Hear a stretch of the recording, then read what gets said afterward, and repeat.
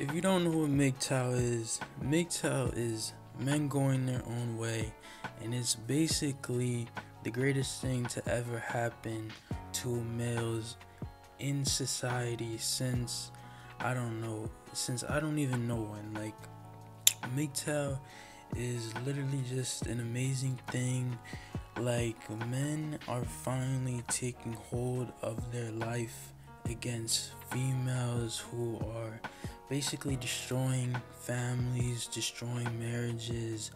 Um, you see it all the time now where um, women are divorcing men, taking all their money, and basically just leaving men with nothing, and everything they earn just goes to nothing.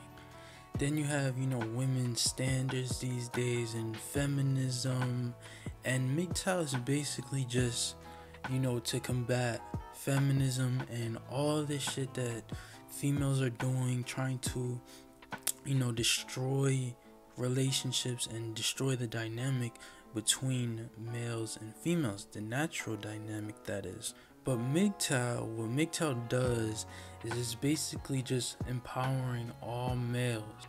And all these males that are coming to MGTOW are being taught, you know, how to go their own way, how to, you know, forget about females, you know, to, you know, leave them in the dust, you know, never go back to trying to marry females, give them your attention. And that's really what MGTOW is all about is going your own way as a male.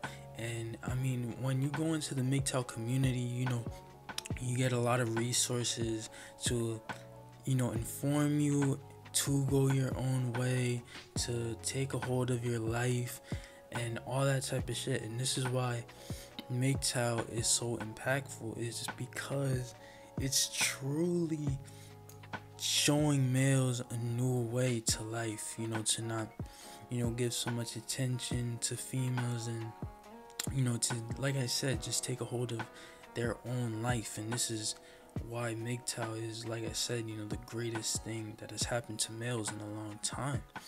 And, you know, with the rise of feminism, this is a perfect, you know, thing to combat it.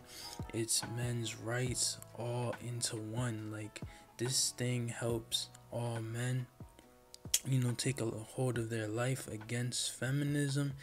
And, you know, a lot of feminists say it's, you know, bad or whatever, but it's not because MGTOW just empowers men and teaches them, you know, how to be great without women. And that's really the only reason why they don't like it. But in reality, MGTOW is just pretty much the greatest thing ever. I mean, if you go into the subreddits or any MGTOW forums, you'll just, you know, be welcomed with, you know, knowledge and information on you know empowering yourself as a male.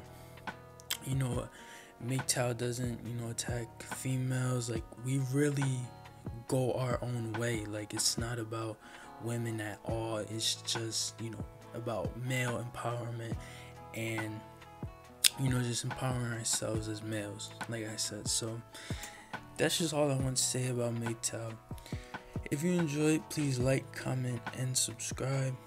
And i'm out